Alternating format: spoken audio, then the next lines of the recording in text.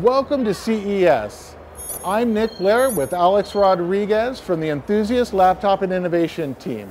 We're outside the Intel Spark Cube where we built an amazing experience we had hoped to share with you all. Inside the Spark Cube there are three LED walls creating a unique gaming experience.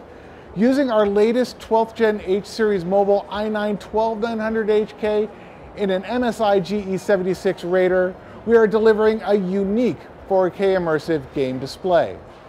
Now, let's take a look at Alex playing inside the Intel Spark Cube.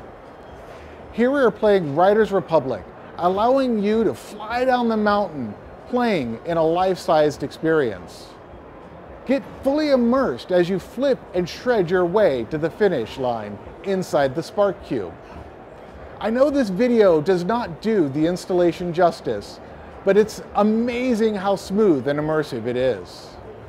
We look forward to you enjoying the 4K gameplay powered by our 12th Gen H Series mobile platforms and eagerly await the ability to share experiences like this with you in the future.